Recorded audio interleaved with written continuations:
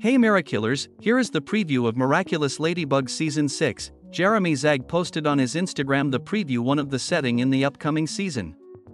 As we can see, Marinette's outfit changed a little, before she wears pink pants and now she wears pink shorts with black leggings I think.